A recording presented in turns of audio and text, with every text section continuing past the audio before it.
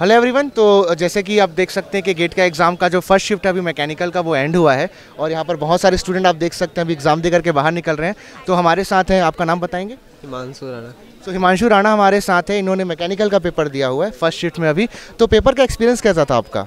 अच्छा आया था मौत से अच्छा आया था क्वेश्चन अच्छा और पेपर में मतलब डिफ़िकल्टी लेवल कैसा था पेपर का? पिछले बार दिया था उससे थोड़ा इजी लगा मेरे को। अच्छा मतलब इस बार कट ऑफ़ आई जाने के थोड़े चांसेस हैं। ओके तो अगर मैं पूछूँ कि बाकी लोगों का आपके फ्रेंड सर्कल में जो अभी साथ में आपके कुछ दोस्त थे? आपके साथ में कुछ दोस्त थे उनका किस तरीके का मतलब ओपिनियन है पेपर के रिगार्डिंग अभी कुछ लोग दिए हैं कुछ लोग का पेपर बचा है और जो दिए हैं उन लोग तो खुश नज़र आ रहे हैं। मतलब चांसेस हैं। इस बार अच्छे स्कोर आने के सभी के। ओके okay, तो जैसा कि आप देख सकते हैं पेपर जो है बहुत लोगों का अच्छा गया। पेपर के बारे में ये देखने को मिल रहा है कि पेपर इजी आया था। तो मोस्ट प्रोबेबली जो कट ऑफ़ है इस बार अ, अच्छा जा सकता है टफ कंपटीशन होगा। ओके ओके थैंक यू हमसे बात करने के लिए। क्या नाम है आपका? कांति ठाकुर। कौन से ब्रांच के हैं आप? फिजिक्स एमएससी फिजिक्स आप अभी गेट का एग्ज़ाम देकर आ रहे हैं? कैसा एग्ज़ाम गया आपका? अच्छा गया। लेवल ऑफ़ टफनेस कैसा था? नॉर्मल था उतना हाई नहीं था ठीक था। मतलब लास्ट ईयर के कंपैरिजन में वाज इट इजी या डिफ़िकल्ट था ओके तो आपने लास्ट ईयर के कुछ क्वेश्चंस वगैरह देखे होंगे फिर भी उस हिसाब से?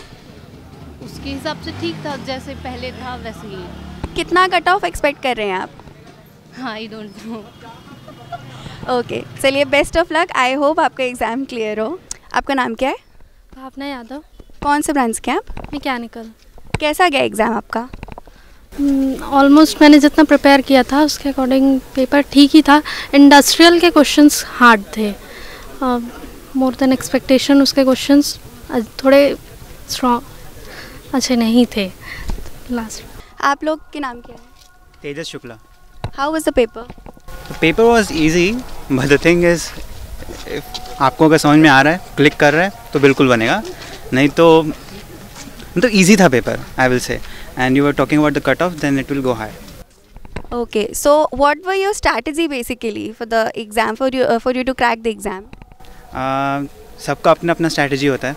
किसी को एप्टीट्यूड और इंग्लिश बहुत अच्छे से बनता है। किसी को टेक्निकल सीधा कूदना होता है। तो मेरा स्ट्रैटेजी था कि मैं पहले एप्टीट्यूड और इंग्लिश को अच्छे से कर लूँ फिर उसके बाद मैं ईजीली फन मार्क्स टू मार्क्स की तरफ़ मैं बढ़ूँ आगे। एप्टीट्यूड और इंग्लिश का पेपर कैसा आया था? Was it easy easy okay आप आप आपके फ्यूचर इंडेवर्स क्या हैं? मतलब आपने गेट का एग्ज़ाम अपेयर किया है what are you looking for exactly Um, I'm not sure about it right now because I've already given the GATE exam now, and um, I will look in the future if I want to give it again. because I'm not sure if this exam is gone right or not. Okay, in that case, very best of luck to you. What is your name? Manchulere. How was your paper? Uh, it was fine, but uh, I, I didn't. I was expecting much more than uh, than I did right now. Uh, but uh, some uh, somehow I just did not remember. I just I completed the whole course in those um, in a while one year, but still I did not able to revise it at the last time. So I did not able to recall the formulas. Uh, so the paper was it, it was easy, but uh, still I couldn't do it. So uh, it's, I'm feeling bad, but uh, let's see what will happen. Okay cut off कितना expect कर रहे हैं आप cut off तो high जाएगा मेरे हिसाब से 35 36 के आसपास होना चाहिए लेवल ऑफ़ टफनेस कैसा रहा लेवल ऑफ़ टफनेस सब्जेक्ट्स के हिसाब से था असल में अलग अलग सबका अलग अलग टफनेस था तो कुछ सब्जेक्ट्स के ईजी थे काफ़ी कुछ कॉन्सेप्चुअल भी थे। कुछ दो चार सब्जेक्ट्स के कॉन्सेप्ट्स को मिला के भी ऐसे क्वेश्चंस बनाया गया था उसमें। तो अच्छा ही था पेपर भी लेकिन इजी भी था। मतलब अगर सोच सके तो हो सकता था बन सकता था ऐसा है।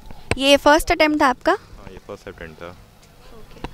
ठीक है। Very best of luck we hope from the team of GATE academy that you guys get what you're looking for thank you तो जैसे कि अभी हम सबने बात की, बच्चों से बात की, सबका एग्ज़ाम ओवरऑल इजी गया है।